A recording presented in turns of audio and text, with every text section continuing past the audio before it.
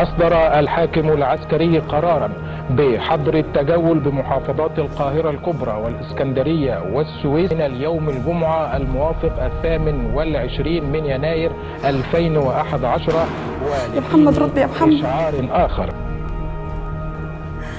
وده وقت الشبكة تقع فيه برضه